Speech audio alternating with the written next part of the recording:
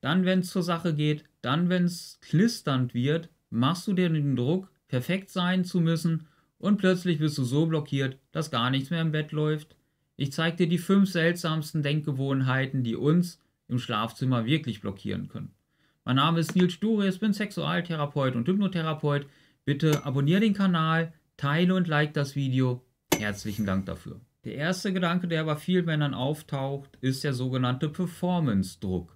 Das Gefühl, ständig abliefern zu müssen, kann eine enorme Last sein. Die Angst, den Erwartungen des Partners nicht gerecht zu werden, blockiert oft mehr, als dass sie hilft. Dazu ein Beispiel aus meiner täglichen Praxis. Ein Klient, nennen wir ihn einfach mal Thomas, war in einer Beziehung und fühlte sich extrem unter Druck gesetzt, perfekt sein zu müssen. Jedes Mal, wenn es zu einer intimen Situation kam, setzte er dich selbst unter so großen Stress, dass er Schwierigkeiten hatte, überhaupt eine Erektion zu bekommen. Thomas hatte den Gedanken, dass seine Partner ihn dann nur akzeptieren kann, wenn er wirklich im Bett performen konnte.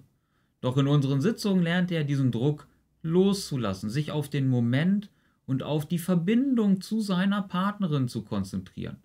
Als er den Fokus von Leistung auf die Intimität verlagerte, verbesserte sich seine sexuelle Schwingungsbreite ganz deutlich. Die Moral der Geschichte?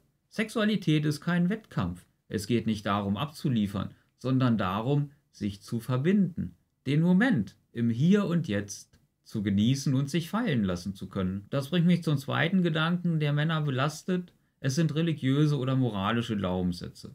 Manche Männer wachsen mit Vorstellungen auf, dass Sexualität etwas Schmutziges oder was Verbotenes ist. Tief verwurzelte Überzeugungen können auch später im Leben wirken und Erektionsprobleme hervorrufen und uns unbewusst blockieren.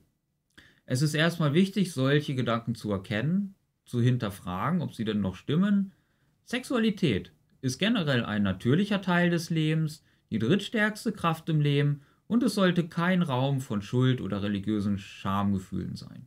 Die dritte Denkweise, die oft auftritt, ist die Angst vor der eigenen Verletzlichkeit. Manche Männer haben Schwierigkeiten, sich in emotionalen, intimen Momenten zu öffnen.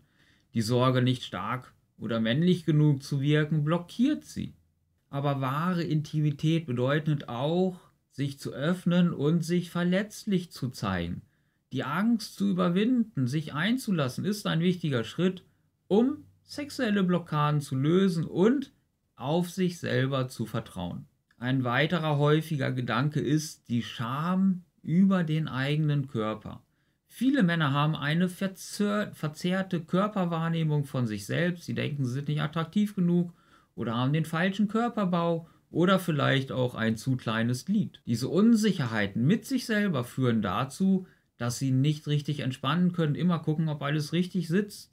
Doch das Wichtigste ist, den eigenen Körper zu akzeptieren und sich in der eigenen Haut voll und ganz wohl zu fühlen. Und last but not least sind Schuldgefühle auch Denkmuster, die Männer in sich tragen, emotionale Lasten aus der Vergangenheit, die noch in der Gegenheit, wir in der Gegenwart wirken und sie beeinflussen. Vielleicht gab es mal negative sexuelle Erfahrungen oder traumatische Erlebnisse, die dann wieder durch die sexuelle Situation reaktiviert werden. Es ist wichtig, sich mit diesen Gefühlen auseinanderzusetzen, die Ursachen zu lösen, die in der Vergangenheit entstanden sind, sodass man wirklich im Hier und Jetzt ankommt und es vollends genießen kann. Ja, das waren die fünf seltsamsten, aber häufigsten Denkweisen, die Erektionsprobleme verursachen oder verstärken. Wenn dir diese Muster bekannt vorkommen, möchte ich dir sagen, du bist nicht alleine damit. Es gibt Wege, solche Blockaden zu lösen und wieder Freude und Lust und Liebe an der Sexualität zu finden. Wenn du Unterstützung brauchst, stehe ich dir gern zur Seite. Einen Link zu unserem Kalender findest du in der Videobeschreibung. Komm auf uns zu und wir überlegen uns, wie wir es schaffen, dich wieder in eine erfüllte Sexualität zurückzubringen. Eine Reise, die sich auf jeden Fall lohnen kann für dich. Teile das Video, like es und abonniere unseren Kanal, um keine Tipps und Infos mehr zu verpassen. Herzlichen Dank, Daniels. Ciao, ciao.